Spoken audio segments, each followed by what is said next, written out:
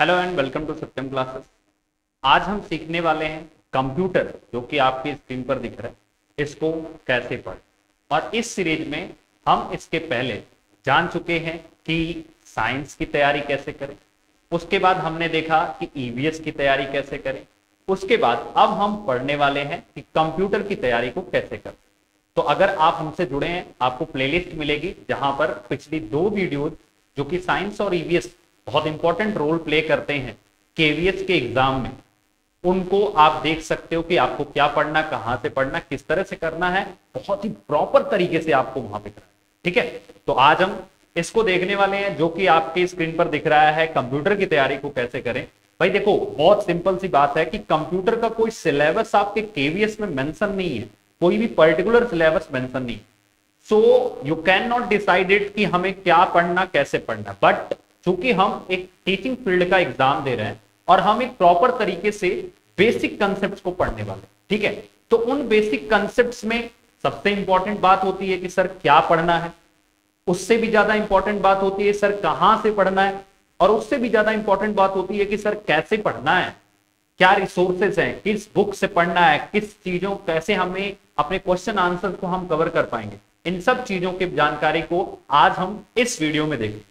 तो चलिए स्टार्ट करते हैं। नंबर फ़र्स्ट थिंग सबसे बड़ी समस्या ये आती है बच्चों के सामने कि सर, जिस बच्चे के पास कंप्यूटर या लैपटॉप नहीं है, वो कैसे अपनी तैयारी को करेगा ठीक है? तो इस चीज़ को हम कैसे हैंडल कर सकते हैं? एक बहुत सिंपल सा तरीका है कि आपको जब भी कोई भी चीज़ पढ़ रहे हो तो पहले उसकी नोट्स बनाओ और गूगल पे वो चीज़ सर्च करते जाओ। क्योंकि हमारे दिमाग में गाइस इमेजेस सेट होती है। इमेजेस मैं इन बच्चों को लिए बता रहा हूँ जो कंप्यूटर या लैपटॉप उनके घरों में नहीं। वैसे मैक्सिमम लोगों के घरों में कंप्यूटर और लैपटॉप है। अगर उनके घरों में नहीं है तो वो एक सिंपल सा काम कर सकते हैं कि जो भी पढ़ें, उसको गूगल पर सर्च करें और उसकी ईमेज देखें। जिससे क्या होगा कि उनके दिमाग में ये चीज़ सेट हो जाती है, ठीक है? और जब आप गूगल पे सर्च करोगे तो वहाँ पर रिकमेंडेशन आता है यूट्यूब का। कि यूट्यूब में वो चीज़ हम कहाँ से देख सकते हैं? तो आप यूट्यूब पर जाओगे तो काफ़ी टाइम वेस्ट होता है। इसी वजह से गूगल पे सिर्फ़ इमेजेस देख लीजिए। दूसरा तरीका क्या है?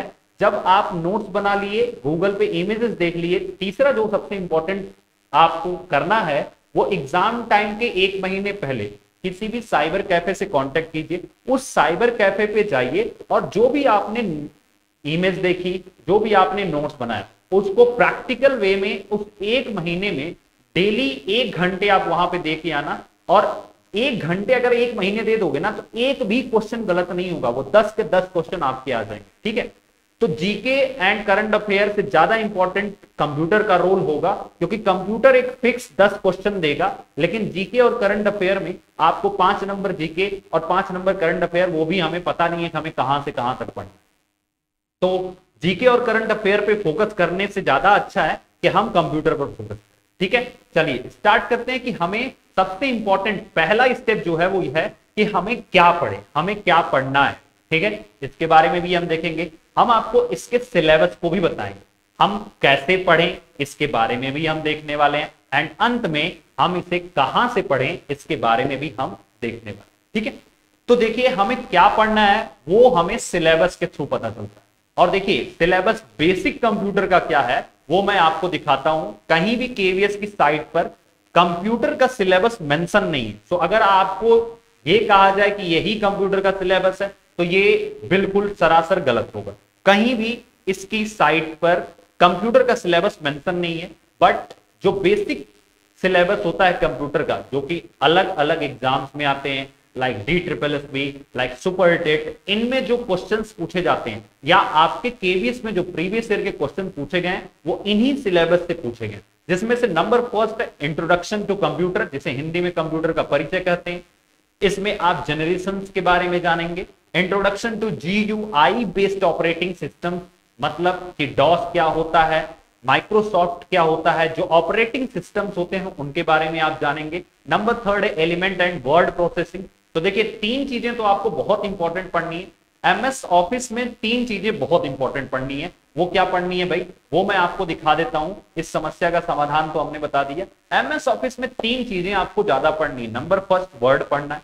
नंबर सेकंड पीपीटी पढ़नी है। जैसे पावर पॉइंट प्रेजेंटेशन बोलते हैं। एंड नंबर थर्ड हमें एक्सेल के बारे में पढ़ना है। तो बेसिक इंफॉर्मेशन आपको होनी चाहिए इसकी कि फ़ाइल कैसे बनती है फ़ाइल कहाँ सेव होती है, उसको एडिट कैसे करते हैं, कैसे हम नाम को ला सकते हैं, क्योंकि जब आप केवी में सेलेक्ट हो जाओगे तो वहाँ पे कंप्यूटर को आपको यूज़ करना हो ठीक है? क्यों?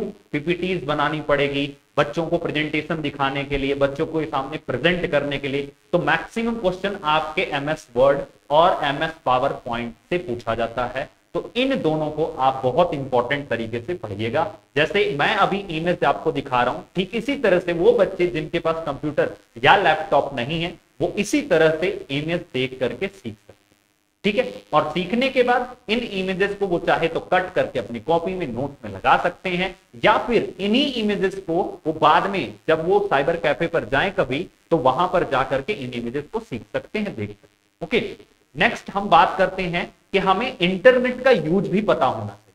सबसे इंपॉर्टेंट है, क्योंकि इंटरनेट से भी आपके क्वेश्चन आते हैं। ओके सवाल आता है कि सर, ये सब चीज़ें, जैसे M S word M S office M S power point M S DOS operating system कितने होते हैं? जैसे एक्सपी हो गया विंडोज़ सेवन टेन क्या क्या कब कब ये बने थे? ये बहुत इंपॉर्टेंट रखता है, बहुत इंपॉर्टेंट रोल प्ले करता है। कंप्यूटर की जनरेशन क्या है? किस जनरेशन में क्या यूज़ हुआ था? जो कि आप स्क्रीन पर देख रहे होगे। किस जनरेशन में क्या यूज़ हुआ था? ये सब चीज़ें भी हमें जानना बहुत ज़रूरी ठीक है? अभी जो जनरेशन चल रही है, वो किस तरह से चल रही है? या अभी जो विंडोज़ का सिस्टम चल रहा है, वो कितना अपडेटेड है? इन सब चीज़ों के बारे में भी जानना हमारे लिए बहुत इंपॉर्टेंट रोल प्ले करेगा। ओके तो इन सब चीज़ों को हम एक बुक से पढ़ सकते हैं। तो बुक कौन सी है? तो वो सिंपल सी बुक है। वो सिंपल सी बुक है। वो बुक कौन सी है? मैं आपको बता देता हूँ। वो बुक है आपकी ट्रिपल सी की जिसे हम कोर्स ऑन कंप्यूटर कॉन्सेप्ट के नाम से जानते हैं। ये दोनों लैंग्वेज में अवेलेबल है एक हिंदी और एक इंग्लिश तो आप चाहो तो इसे फ्लिपकार्ट से ले सकते हो। ऐसा कोई पेड प्रमोशन नहीं है मेरा फ्लिपकार्ट का या फिर अमेजोन का।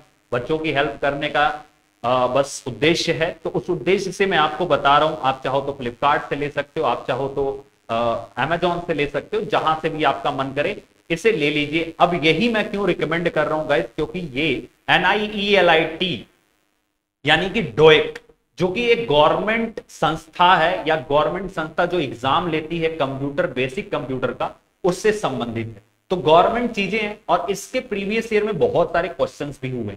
तो प्रीवियस ईयर क्वेश्चंस अगर आप इनके कर लेते हो, और इसके बुक को अच्छे से पढ़ के, नोट्स तैयार कर लेते हो तो आपको कंप्यूटर के दस क्वेश्चन कोई छांट नहीं सकता, कोई हटा नहीं सकता। और ये बहुत बड़ा रोल प्ले करेगा, क्योंकि एक एक नंबर मैटर करता है जब एग्ज़ाम सिर पे होता है। ठीक है? तो जल्दी से, फटाफट से इसको आप ले सकते हो बुक को। चाहे जो बुक ले लो, अगर आपको अच्छा लगे ये बुक तो यही ले सकते हो, वरना आपके मार्केट में भी अगल बगल बुक अवेलेबल होगी तो उसको ले सकते हो। ठीक है? So thank you so much guys thank you so much आप देखें और चीज़ों को समझें और आपके जो भी कमेंट्स होंगे, जो भी क्वेश्चंस होंगे, जो भी क्वेरी होगी, वो एक बार आप मुझे मेंशन कर दीजिएगा कमेंट बॉक्स में। मैं उसका रिप्लाई वहीं पर दे दूँगा। ठीक है? अगर मुझसे कुछ छूट गया हो तो हम वहीं पर उसको कवर कर लेंगे। So thank you so much all the best पढ़ते रहिए, मुस्कुराते रहिए। और हाँ अपनी तैयारी में लगे रहिए। सबसे इंपॉर्टेंट बात, और मॉक टेस्ट आपका अगला फिर से आने वाला है सैटरडे को। तो तैयार रहिए उसको देने के लिए। ठीक है? चलिए, धन्यवाद। मिलते हैं शाम को नौ बजे की क्लास में, रात को नौ बजे की क्लास में, मैथ के सेक्शन के साथ, ऑल द बेस्ट।